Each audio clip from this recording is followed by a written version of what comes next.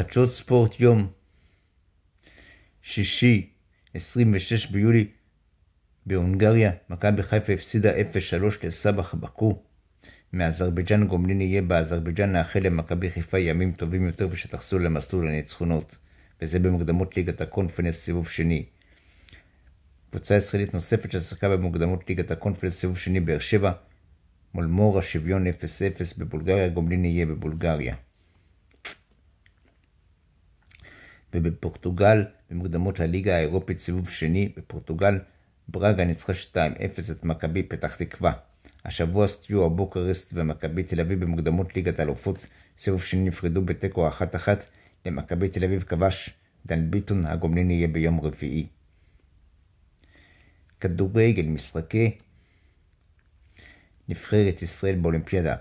ביום רביעי ישראל ומאלי נפרדו בתיקו 1-1.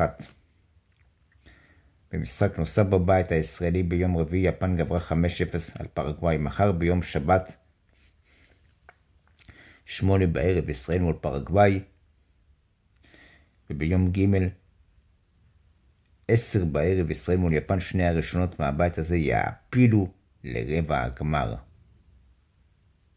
הישאם ליוס, מכבי תל אביב בודקת את מועמדות הישאם ליוס, הישאם ליוס לקבוצת מכבי תל אביב בכדורגל. עד כאן ספורט המשך לכולם כתוב להתראות.